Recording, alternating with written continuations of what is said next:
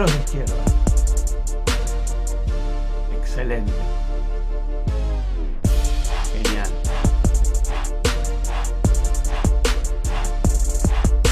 Domina el combate.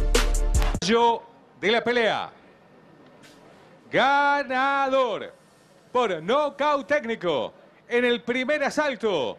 Y de esta manera sigue siendo el campeón mundial juvenil, categoría super ligero de la Organización Mundial de Boxeo de Santo Tomé, República Argentina, Alan, el rusito, Krentz.